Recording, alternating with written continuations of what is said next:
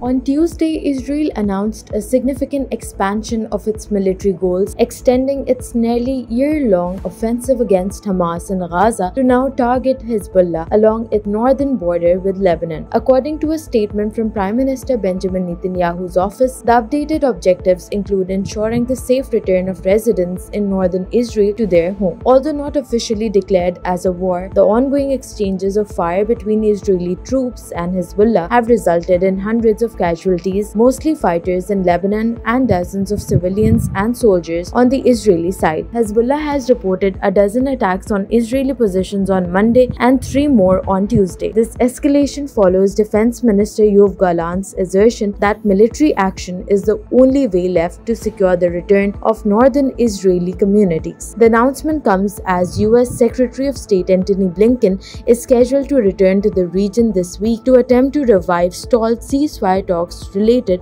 to Israel's Gaza operation.